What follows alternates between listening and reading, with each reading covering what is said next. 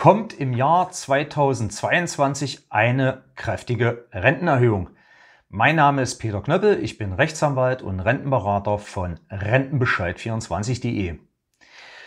Focus Online berichtete am Samstag, den 31. Oktober 2020, gute Nachrichten für alle Rentnerinnen und Rentner in Deutschland. Im Jahr 2022 wird es laut Aussagen des Direktors der Deutschen Rentenversicherung Bund, Stefan Fassauer, ein deutliches Plus in der gesetzlichen Rente geben. Nachdem es im Jahr 2021 wahrscheinlich eine Nullrunde geben wird, die höchstwahrscheinlich, ich sag's mal, nur den Westen treffen würde. Der Optimismus für die Rentenerhöhung 2022 ergibt sich aus den Zahlen der Herbstschätzung der Deutschen Rentenversicherung Bund für das Jahr 2020. Diese Herbstschätzung prognostiziert unter anderem auch die Rentenwertsteigerung für die nächsten Jahre. Die Herbstschätzung 2020 liegt mir aktuell nicht vor, da noch nicht veröffentlicht, müssen wir also abwarten. Was mir aber vorliegt, sind die Herbstschätzungen des Jahres 2019.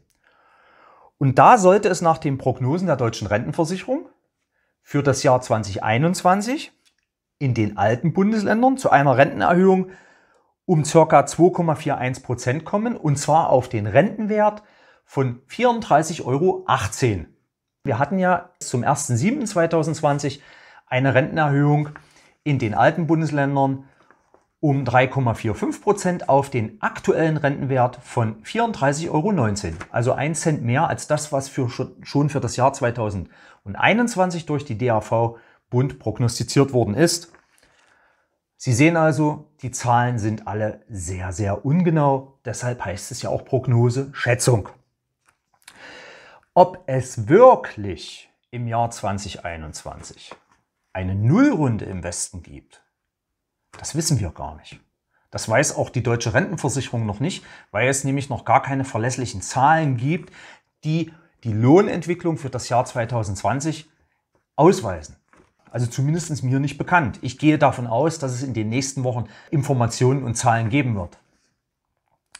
Sollte es im Jahr 2020 wirklich zu einer deutlichen Rentensteigerung kommen, dann liegt das auch daran, dass der sogenannte Nachholfaktor, der in der Rentenwertformel eine Rolle spielt, seit dem Jahr 2018, so glaube ich, ausgesetzt ist.